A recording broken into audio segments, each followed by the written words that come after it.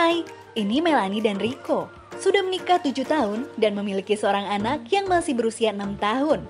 5 tahun lagi, Melani dan Rico berencana memasukkan anak mereka ke sekolah menengah pertama. 6 tahun bukan waktu yang singkat. Perlu diperhatikan bahwa setelah anak masuk sekolah, uang akan terus mengalir tiap tahunnya untuk pendidikan anak agar anak memiliki bekal untuk hidupnya. Dan lagi, biaya pendidikan yang selalu naik tiap tahunnya harus juga diperhatikan. Lalu bagaimana sih strategi yang tepat untuk mengumpulkan dana pendidikan anak? Pertama, tentukan biayanya. Riset terlebih dahulu dan hitung secara detail beserta inflasinya seperti ini.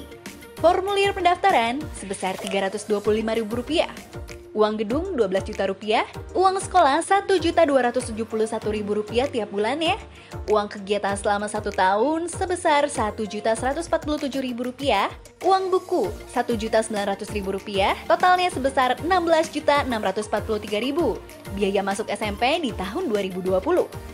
Setelah kita hitung, 5 tahun ke depan dana yang dibutuhkan adalah sebesar Rp108.108.898 rupiah sudah termasuk biaya SPP selama 3 tahun dan inflasi 10% per tahunnya.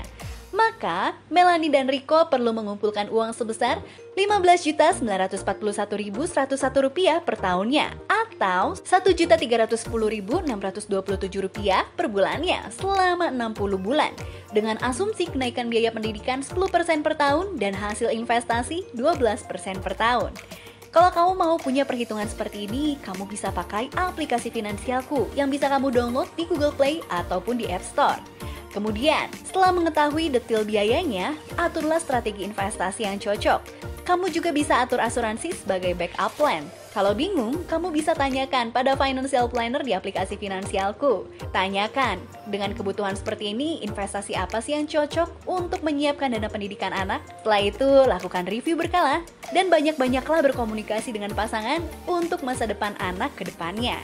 Buktikan cintamu pada anak dengan merencanakan pendidikan mereka dari sekarang. Walaupun rasanya masih lama, hal ini nggak akan kerasa loh. Tapi tenang, kamu nggak usah khawatir, karena finansialku siap bantu kamu. Oke deh kalau begitu, selamat mengumpulkan dana pendidikan ya. Bye-bye.